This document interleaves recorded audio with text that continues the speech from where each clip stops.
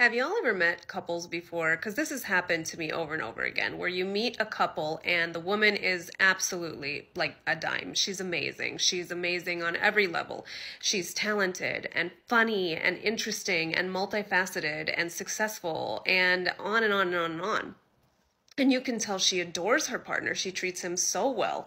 And um, but then you look at the man and it, he treats her like a river rock, even though he has a diamond and I would think to myself, does he see what he has? Like, does he does he see her? And I came across this quote by Marilyn Frye that I have to share because it makes so much sense. To say that straight men are heterosexual is only to say that they engage in sex exclusively with other women. All or almost all of that which pertains to love.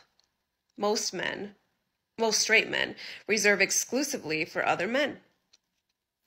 The people whom they admire, respect, adore, revere, honor, whom they imitate, idolize, and form profound attachments to, whom they are willing to teach, and from whom they are willing to learn, and whose respect, admiration, recognition, honor, reverence, and love they desire, those are overwhelmingly other men in their relations with women, what passes for respect is kindness, generosity. What passes for honor is removal to the pedestal. From women, they want devotion, service, and sex.